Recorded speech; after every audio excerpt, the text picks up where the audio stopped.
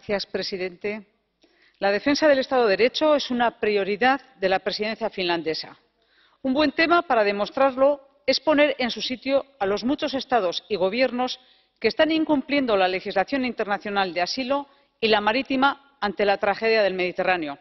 Dificultan rescates, bloquean iniciativas como la del Aita Mari, un atunero reconvertido en barco de rescate, una iniciativa que ha unido a ciudadanos vascos y andaluces, que demuestra que la ciudadanía europea es solidaria, que aconseja que las instituciones locales y regionales, las que realmente acogen y atienden, puedan aportar esa experiencia a quienes convierten a las personas en números, a quienes tratan a los rescatadores como delincuentes.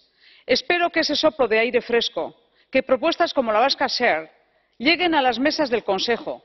Es esperanzador que Ursula von der Leyen, que asiló en su casa a un refugiado sirio, dé testimonio, como presidenta de la Comisión, de valores que deberían unirnos a todos. Gracias.